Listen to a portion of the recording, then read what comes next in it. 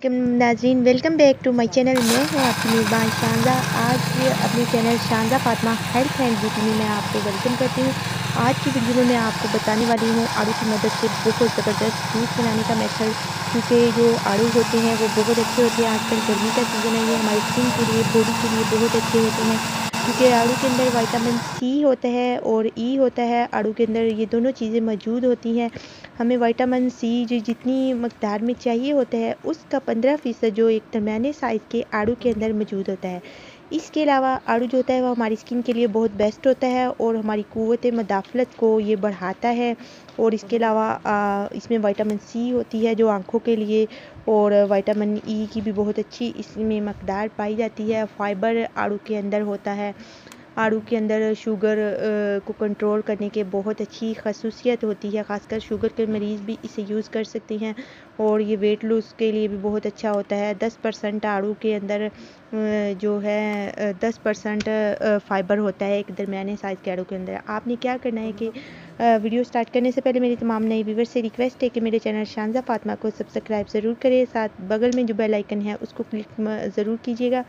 ताकि मेरी हर नई वीडियो का नोटिफिकेशन आपको। सबसे पहले मिले आजकल गर्मी का सीज़न है और बहुत ज़्यादा गर्मी हो गई है। आड़ू का भी सीज़न है, ऐसे में आपको क्या करना है कि आड़ू ले लेने हैं, उनको अच्छी तरह से आपने वॉश कर लेना है। आप जितने फ्रेश आड़ू होंगे, आपका जो आड़ू का जूस है, वो उतना ही बेस्ट बनेगा और आपकी स्किन पे बहुत अच्छा ग्लो लेके आएगा, आपकी बॉडी पे बहुत अच्छा ग्लो लेके आएगा।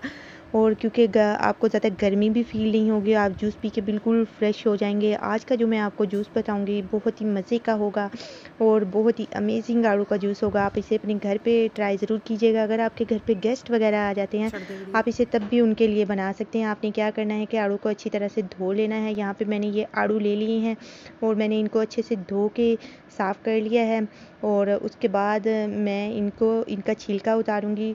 कुछ लोग छिलके समेत आड़ू का यूज़ करते हैं, लेकिन यहाँ पे मैं, यहाँ पे इनका छिलका उतार रही हूँ। अगर आप छिलका नहीं उतारना चाहते तो आप इनको छिलके के साथ भी यूज़ कर सकते हैं। यहाँ पे मेरे से ज़रा मैंने वीडियो बनानी थी, ज़रा मोटा छिलका उतारा है, लेकिन आप थोड़ा बारीक छिलका उतारिएगा।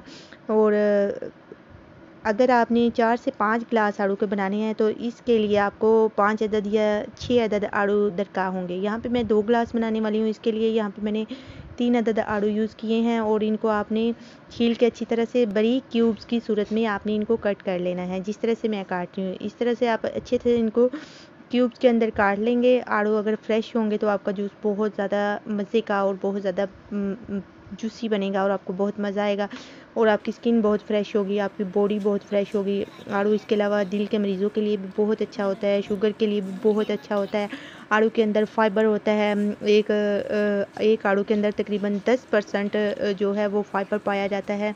और इसके अलावा एक आड़ू के अंदर जो है वो पंद्रह फ़ीसद जो होता है वाइटामिन ई होता है, दरमियाने साइज़ के आड़ू से आपको वो मिल सकता है।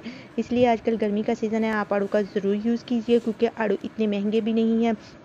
और आपने क्या करना है कि यहाँ पे मैंने एक ब्लेंडर ले लिया है, मैंने हसब ज़रूरत इसके अंदर चीनी ऐड कर लिया, जो शुगर के मरीज़ हैं, वो चीनी मत ऐड कीजिएगा, वो ऐसे ही बना सकते हैं, ठीक है? आज की वीडियो में मैं आपको जूस बनाने का तरीका बता रही हूँ, नेक्स्ट वीडियो में मैं आपको जो बताऊँगी, आड़ू का मिल्क शेक बनाने का बताऊँगी ये बहुत ही ज़बरदस्त इसके बेनिफिट हैं हमारी स्किन के लिए, बॉडी के लिए जो मैं आज बना रही हूँ। यहाँ पर मैंने आड़ू जो है इसके अंदर ऐड कर दिए हैं, और ये एक कप जो मैंने पानी का इसके अंदर ऐड कर दिया है, जिससे जो ओनली दो ग्लास थे, ठीक है? और उसके बाद मैं ब्लेंडर को यहाँ पे चला दूँगी, और उसको अच्छे से आपस में केक कर लूँगी जितना ज़्यादा अच्छे से केक होगा, आपका जो आड़ू का जूस है, वो उतना ही बेस्ट बनेगा और बहुत मज़े का बनेगा और आपकी बॉडी को बहुत अच्छा रखेगा। इससे बहुत ज़्यादा बेनिफिट जो है आपकी बॉडी को मिलेगा। यहाँ पे ये मैं ब्लेंडर चला दिया है और आलू का जूस बना रही हूँ। आप देख सकते हैं, अब मेरा ये जूस रेडी हो चुका है। यहाँ पे मैंने बारीक बारीक करके जो बर्फ़ थी उसको थोड़ी बारीक कर लिया है और मैं इसे, एक ग्लास के अंदर ऐड कर रही हूँ। और उसके बाद जो मैंने ये मिल्क शेक यहाँ पे बनाया था, ये जूस सॉरी जूस बनाया था, ये मैंने इसके ग्लास के अंदर ट्रांसफ़र कर दिया है। बहुत ही मज़े का, बहुत ही ठंडा और बहुत ही सुपर आपकी बॉडी को ये रखेगा। ये मेरा जूस रेडी हो चुका है।